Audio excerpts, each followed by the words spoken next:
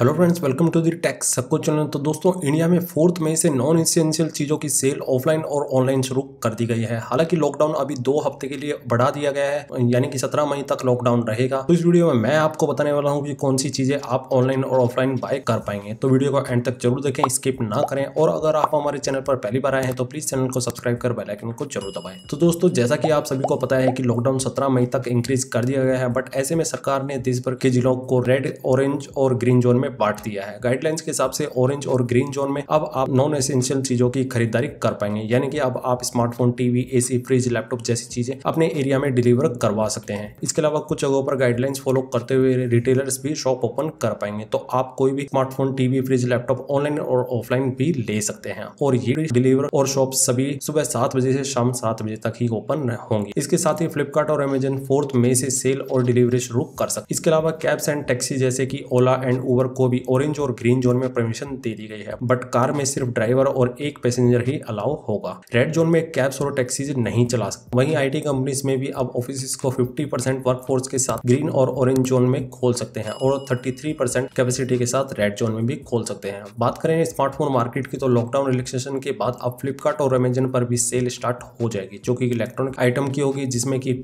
आप TV AC fridge fan cooler laptop जैसी non essential चीज़ों को खरीद सकेंगे। और उसके बाद स्मार्टफ़ोन की सेल भी स्टार्ट हो गई, जिसमें कि काफ़ी फोन्स पर तो अभी से प्राइस कट हो गई है, जैसे कि सैमसंग और वीवो तो किन किन स्मार्टफ़ोन में कितना प्राइस डाउन हुआ है, इसके लिए मैं अलग से वीडियो बना सकता हूँ, अगर आप नीचे कमेंट करते हैं तो। और अगर आप लोग किसी न्यू फ़ोन का वेट कर रहे हैं तो नेक्स्ट वीक में हमें रियलमी मोटरोला शाओमी और वीवो कंपनी के फ़ोन लॉन्च देखने को मिल सकते हैं, जिसमें कि Realme Narzo series Xiaomi Mi ten and Vivo V launch होंगे। तो क्लियरली मई मंथ काफ़ी बिज़ी रहने वाला है स्मार्टफ़ोन ब्रांड्स के लिए, क्योंकि सभी कंपनीज़ के लॉन्च इवेंट पोस्टपोन कर दिए गए थे लॉकडाउन के चलते। बाकी आप लोग मुझे नीचे कमेंट करके बताओ कि आप में से कितने लोग हैं जो नया स्मार्टफ़ोन का वेट कर रहे हैं। तो इतना था इस वीडियो में। वीडियो अच्छी लगी तो यार प्लीज़ वीडियो को लाइक ज़रूर करके जाना। मैं मिलता हूँ आपसे एक और नई वीडियो में। तब तक लिए take care and good bye